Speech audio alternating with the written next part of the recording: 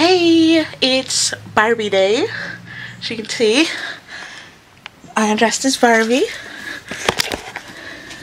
I just wanted to show somebody my outfit because I feel heckin' cute. I have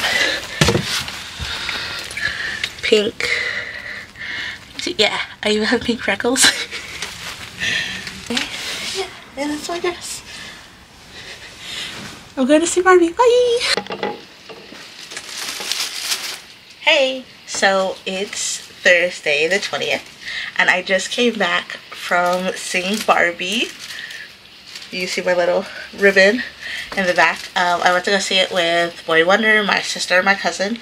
It was amazing. It was feminist, it was forward thinking, it was a physical manifestation of the existential crisis that is to be a woman. It was immaculate comedy, scathing wit, chef's kiss. Like, if you were on the fence about going to see it, please, please go see it. And please, please, please, take your children. It's top notch. And I just came back from seeing Barbie. We took lots of pictures. I will disperse some through here. Hi Barbie. Hi Barbie. And I'm bad like the Barbie. I'm a doll, but I still wanna party. Pink felt like I'm ready to bend. I'm a 10, so I pull in a Ken. Like Jazzy, Stacy, Nikki. All of the Barbies is pretty. Yeah, Barbie merch. So, AMC had a collectible Barbie, which is actually Margot Robbie. I'll make sure you guys can like see her. Yeah. And I was like, oh, I must have her. And she came with a popcorn tin.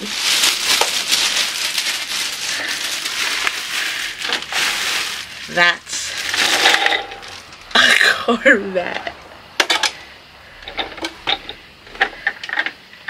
Yeah, so it's everything.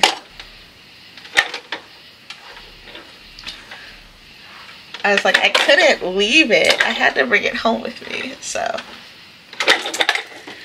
yeah. Okay. So, back to book content before I get distracted. Um, I finished a book today. It's called Aquicorn Cove. And it's by Kay O'Neill. And if that sounds familiar, they did Princess Princess and the Tea Dragon Society, top notch. Aquicorn Cove is no different from its predecessors. I'm going to give this one 4.5 carats. It is about a girl who is visiting family members in this like seaside village and fishing is like the way that the families make their money there are all of these huge storms that have been decimating the place. So she and her father leave the city to come there and help clean up. But they realize that the storms are getting worse, and that's because the there is this aquatic um, community that is basically being overfished, so they can't protect the village like they used to. There's just not enough of them left in the ocean to do so because of overconsumption. Um, my heart hurt. I shed a single tear. It's beautiful. It's gay. It's glorious. And the art is so soft. Like, you guys see that? Okay. Yeah, like it's so soft and it was magical. I'm basically reading Foul Lady Fortune um, by Chloe Gong. I just started it, but I realized that it is a um, mystery kind of high fantasy like her other books are. So I'm going to give this a shot. I'm like five pages into it. Um, I'm hoping it picks up soon. We're getting to the part where they start introducing the main character, and I know that she is one of the detectives on the case, so hopefully I am going to enjoy this. So I picked this up, and I picked the two novellas up, A Foul Thing, and I, I believe it's called A Foul Thing and A Foul Murder, and they are in a duology in and of themselves called A Violent Call. So um, I actually got a foul thing from the library thinking that it was a graphic novel based on these characters. But when I realized it was a novel, I realized that it's missing its its partner. It's a duology, and the library only had one. So I went ahead and got it for digitally digitally from the library so I have both parts. I'm also currently reading a, another Chelsea Pritchard novel. I first read This Lie Will Kill You like four years ago and absolutely adored it.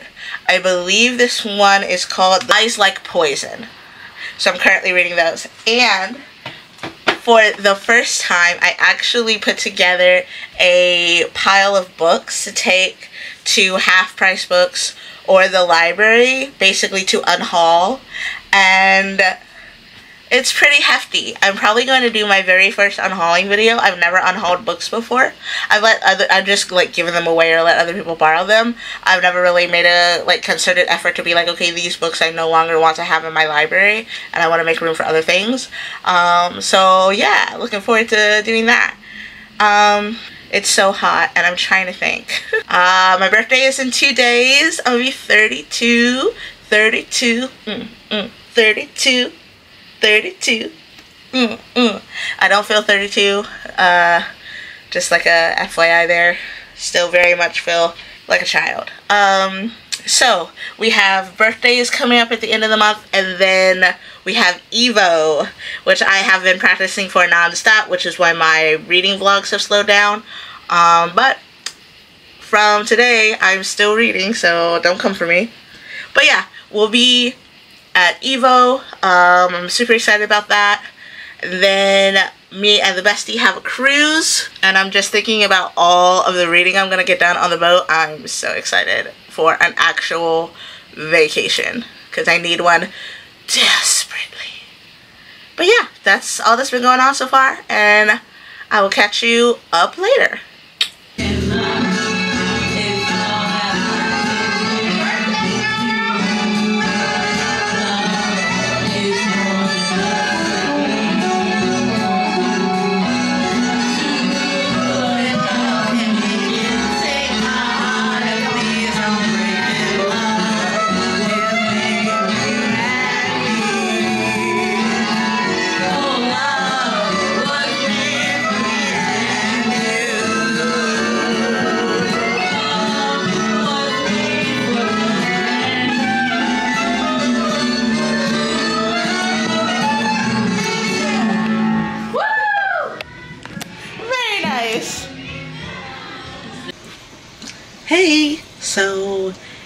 A little bit, and I'm here to tell you that in the time frame of that little bit, from finishing Aquicorn Cove to today's date of July 26th, I have not finished any books. Just get that out the way, off the shoulders. I have not finished any novels, but I have procured more. So the 22nd was my birthday, and I got some books for my birthday. So we're going to go over those. So these are all from Boy Wonder, and I got The Accursed Vampire by Madeline McGrane.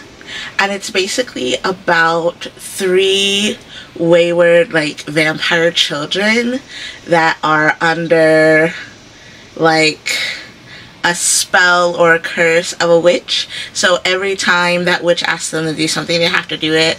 And if they fail, there are like horrible consequences. So they're on a mission and journey to find a missing grimoire for the witch. And that's what this story is about. Um, it's a little younger than I thought it was. Uh, but I'm close to the beginning of chapter 6 in here. So I'm about 60 pages in. And the art is cute. So, you know. And his mom is a queen, vampire royalty back in the day, not recently. So I liked that. Like that's that's his mom. Look at her with her little crown on. It's so nice to see people that look like me in comics. I love that. The next thing I got was Aphrodite Made Me Do It by Trista Mateer, and it's feminist poetry. And the back says, If you were only meant to be beautiful, we wouldn't have to put you down here in the dirt. So, excited for that. And then I got, I think they're the first two in the Goldie Vance book series, not graphic novels. These are regular novels, but one is called The Hocus Pocus Hoax, and the other one is called The Who The Hotel Who Done It. And Hocus Pocus says, now you see it, now you don't.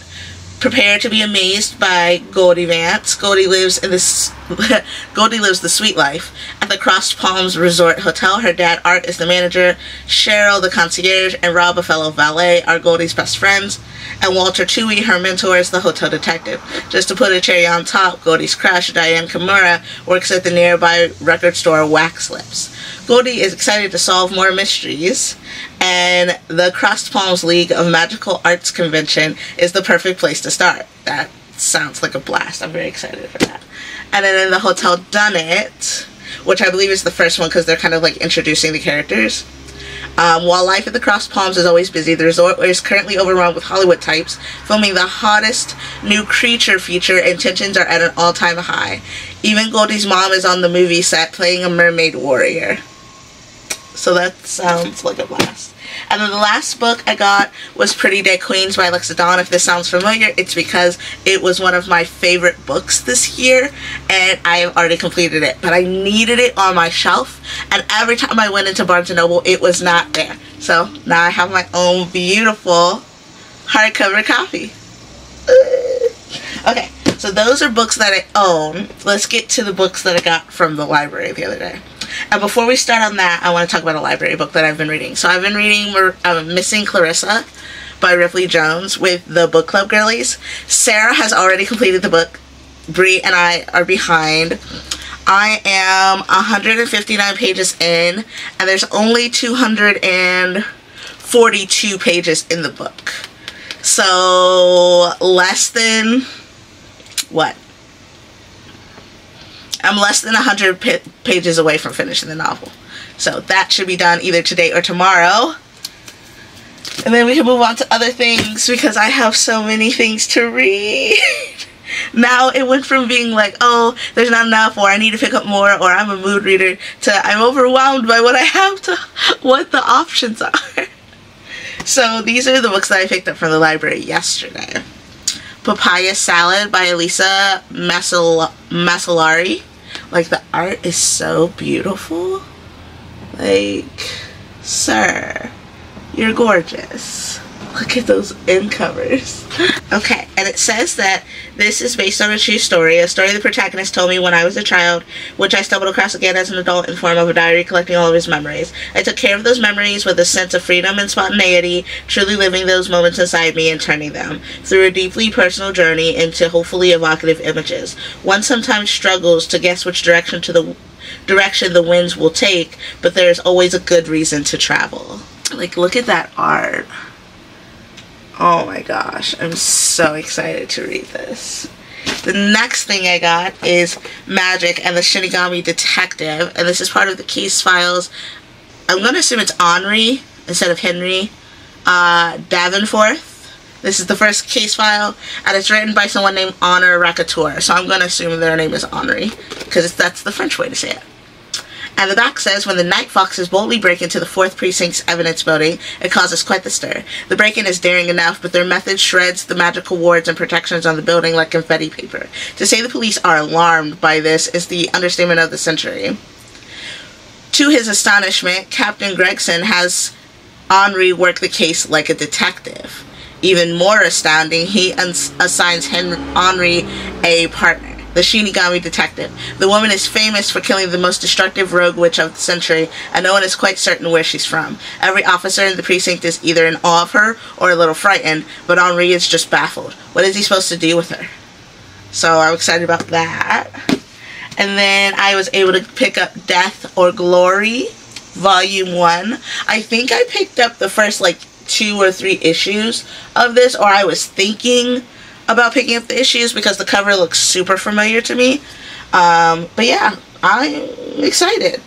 and essentially says Meet Glory, raised off the grid in a convoy of truckers, the last men and women fighting for the for true freedom on the American open road. Now, in order to pay for her beloved father's life-saving surgery, Glory has three days to pull off four dangerous cross-country heists with mob killers, crooked cr- cops, and a psycho ex-husband all out to bring her in or die trying.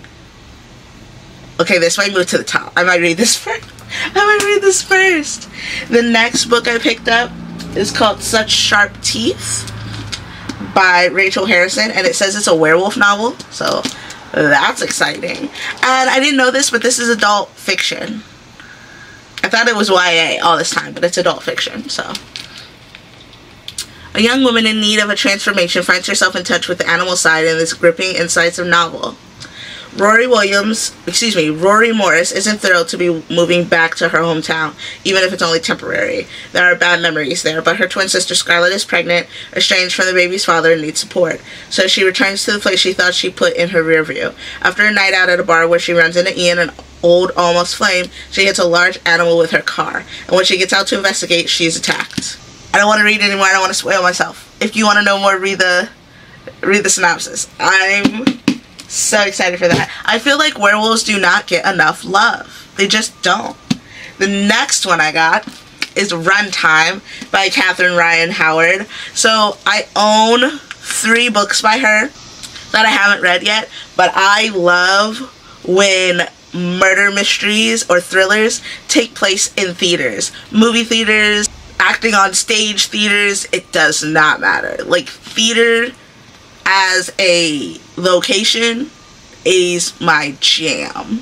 So when I saw this, I knew I had to pick it up. Even though it's gigantic. Oh my god, how big is this? Ooh, don't want no spoilers, I just want to know how big the book is. Ooh, we're past 370 pages. Yeah, it's more than 370 pages. And inside, it says movie making can be murder.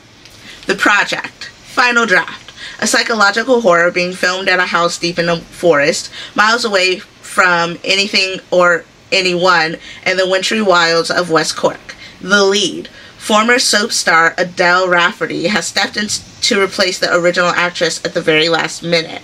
She can't help but hope that this opportunity will be her big break, as she knows she was lucky to get it after what happened the last time she was on set. The problem, something isn't quite right about Final Draft. When the strange goings on in the script start to happen on set too, Adele begins to fear that the real horror lies off the page. Uh, uh, uh. Alright, that was only like a quarter. I went a little nuts, but they were feeding me so good. I went to the new section of the YA because I, I love doing that just to see what's coming out, and there were like three murder mysteries. Actual to goodness mystery tagged novels. How could I leave them behind? So let's get started on them. I'm most excited about this one because how can you not be excited about Murder on a School Night? Like, look at these little lady detectives. I love them. This is by Kate Weston.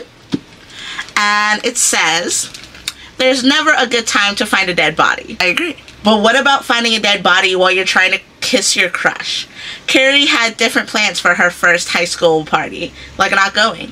Instead, her BFF, mystery fanatic, I love a mystery fanatic, Annie has roped her into going to the party to investigate who's cyberbullying Heather, the most popular girl in school. Getting close with her crush is odd enough, but when the two of them discover Heather's second in command, Helena, suffocated by a menstrual cup, things get really weird. Ew.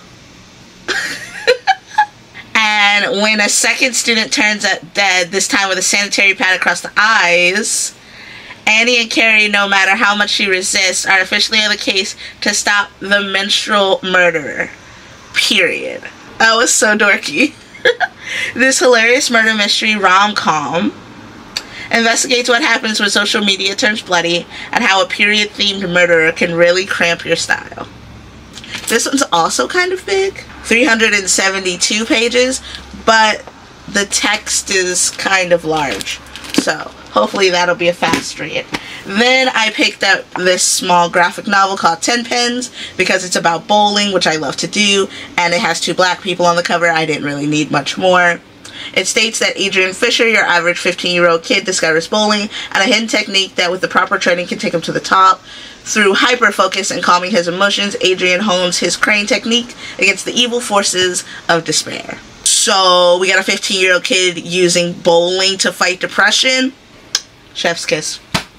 The next thing I have is A Long Stretch of Bad Days by Mindy McGinnis. In a small town, nothing stays buried, is what the cover says. I need to know who is doing McGinnis's covers. Because there's this cover, there's the initial insult cover, and there's another one. And all of the covers are gorgeous. I was worried about picking this up because I thought that might be part of that series and I haven't read that series, but I believe that that is a duology, so I should be okay with this. And in this one, Lydia Chast doesn't mind living in a small town. She just doesn't want to die in one. A lifetime of hard work has put her on track to attend a prestigious journalism program and leave Henley behind, until a school error leaves her a credit short of graduating. Undeterred, she has a plan to earn that credit, transform her listener-friendly local history podcast into a truth-telling expose. She'll investigate the long stretch of bad days, a week when Henley was hit by a tornado and a flash flood, as well as its first and only murder, which remains unsolved. But Lydia needs help to bring grit to the show. Bristol Jameson has a bad reputation and a foul mouth, but she also needs a credit to graduate. The unexpected partnership brings together the Chast family, a pillar of the community, and the rough and tumble Jamesons, with Bristol hoping to be the first in her family to graduate. Together they dig into the town's worst week, determined to solve the murder.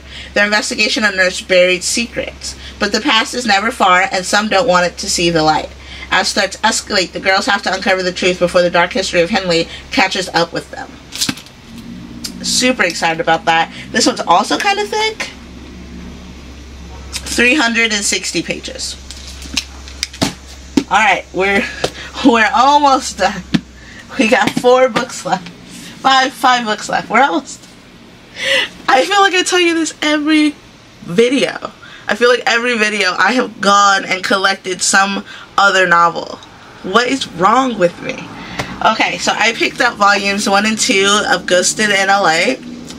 And I don't know what it's about, but I tried to get them earlier and never got the chance, so I'm to get them now and it says that Daphne Walters moved to Los Angeles to follow the love of her life, or so she thought. Really awakened from her happily ever after, she finds herself suddenly both out of place to live and without a reason for being thousands of miles from home. In the midst of her heartbreak, she finds her way to Rycroft Manor, a derelict apartment complex that isn't as abandoned as it seems. It turns out that the manor isn't just packed with mid-century charm, it's also teeming with lovesick ghosts and aspiring actor ghouls. Daphne might need to crash on this haunted couch for a while, while, but having undead roommates might be more than she bargained for. And it's Boombox, which I love. Like, literally, if it's put out by Boombox, I'm to pick it up. Because I love them. Like, I love the art, I love the stories that they choose to produce, all of it. So yeah, that's volumes 1 and 2 of that. Hi, Geronimo. Then I have Constantine, Distorted Illusions by Kami Garcia and Isaac Goodhart. I'm excited to find out about baby bad boy Constantine. It says John Constantine is and has always been a magician of the highest caliber, who doesn't need additional training from any highbrow magician. Thank you very much. Sensing an opportunity for independence, Constantine falsely accepts an apprenticeship in the United States to instead become the lead singer of his best friend's punk band, Mucous Membrane. When the band begins to dabble in magic, a complicated spell gets out of hand, and the disastrous consequences might be more than Constantine can handle. Huh. And this is a completely encompassed graphic novel. So, that's cool. Alright, last two books. Last two books. Last two books. Last two books. And both of these are mysteries, so these complete the three mysteries that I saw on the shelf. There were actually a few more, but I was like, I should calm myself. So, let's start with Stateless by Elizabeth Wein. 12 competitors, one prize, many reasons to kill. When Stella North is chosen to represent Britain in Europe's first air race for young people in 1937, she knows all too well how high the stakes are. As the only participating female pilot, she'll face constant challenges to prove she's a worthy competitor. But promoting peace in Europe feels impossible to Stella when civil war is raging in Spain and the Nazis are gaining power. And when, right at the start, someone resorts to cutthroat sabotage to get ahead of the competition. The world is looking for inspiration in what's meant to be a friendly, sporting event, Stella is expected to befriend the other 11 competitors from charismatic Vittorio, Vittorio, excuse me, flying for fascist Italy, to Ernest Sebastian flying for Nazi Germany, and volatile, infuriating Tony flying for France. But each of the racers is hiding a turbulent and violent past, and any one of them might be capable of murder, including Stella herself. I love an unreliable narrator. Let's see if this lady is capable of murder. And then the next one and the last one is called Liar's Beach by Katie Cotugno. And the inside says, Will the truth come out at Liar's Beach? Michael Linden, or just Linden to his preppy boarding school pals, doesn't belong in wealthy, storied Martha's Vineyard. But when his roommate Jasper invites him to spend the end of the summer at his family's massive beachfront home, August House, Linden tries his best to fit in. He wouldn't call it lying, even though the August House is full of liars. Then someone is found unconscious in his pool, and everyone has someone to hide, something to hide. Jasper, Eliza, his twin sister, Wells, their older brother, and their friends. The accident is written off as just that, an accident, but Linden begins to wonder. Enter Holiday Proctor. That is an awesome name. Holiday, that's so cute. Oh my god. Linden's childhood friend and the only person on the island who knows the truth about him. There's nothing Holiday loves more than a good mystery, and she's convinced there's a murderer on the vineyard. The only question is, who? So yeah, those are the books that I picked up. Um, I'm almost done with Missing Clarissa, and then I'm probably going to do Death or Glory and 10 pens. And then I will probably start Murder on a School Night or Runtime. Those will probably be the next books that I'm reading. So, yeah. Thanks for checking in with me. I will see you guys again soon because I've put together my very first list of books to unhaul. And there's like 30 of them, I think. So we're going to go through all of them, tell you the reasons that I'm unhauling them, and then we're going to go to uh, Half Price Books and the library to go drop off their new conquests. See you next time!